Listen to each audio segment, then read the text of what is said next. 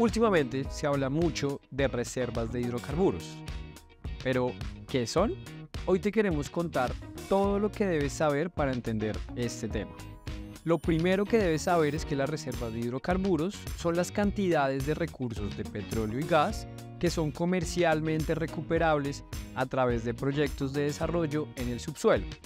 Estos recursos tienen tres características principales. Uno, son finitos, es decir, limitados.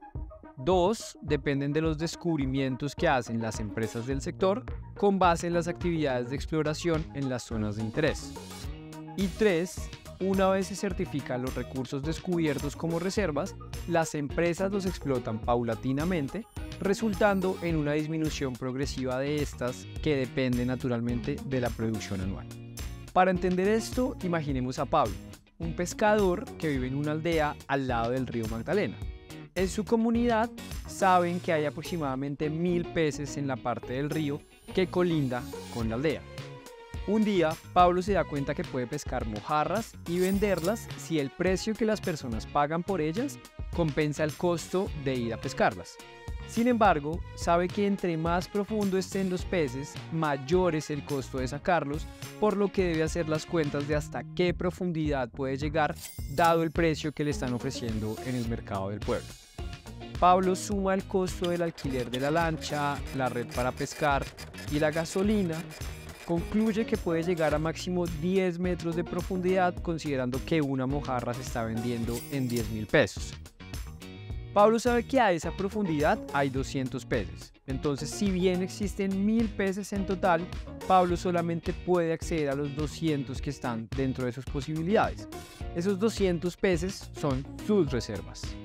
Lo segundo que debemos saber sobre las reservas es qué se requiere para clasificarlas como reservas.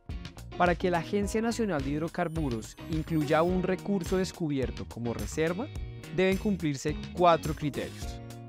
Para el crudo, uno, haber sido descubiertas, dos, ser recuperables, es decir, es factible sacarlas del subsuelo con alguna tecnología. Tres, ser comerciales, que es el costo de sacarlas del subsuelo es compensado por el precio que paga el mercado por un barril. Y cuatro, permanecer durante el proyecto de desarrollo implementado.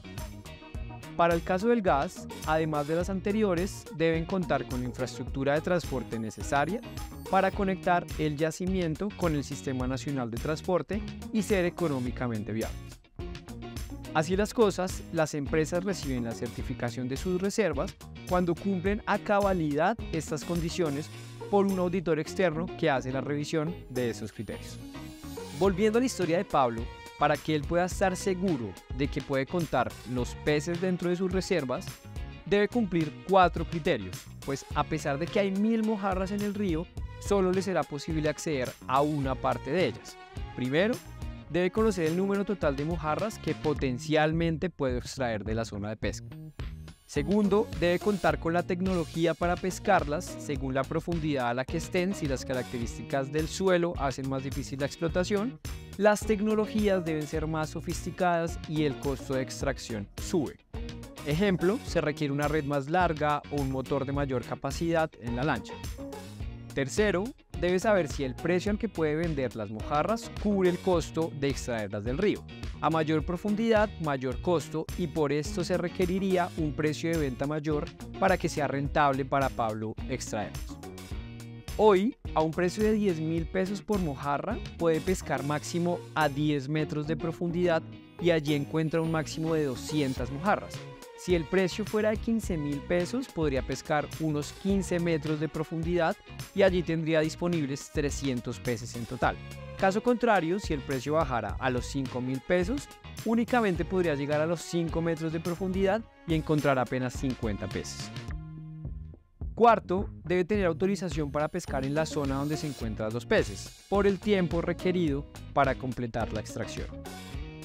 Dadas las restricciones tecnológicas que tiene Pablo, solo le es factible pescar a máximo 10 metros de profundidad y por tanto sus reservas son de 200 peces, que cumplen con los cuatro criterios antes mencionados. ¿Qué pasa en Colombia con las reservas? ¿Tendremos solo 7 años más? Conoce más el caso colombiano en nuestro siguiente video.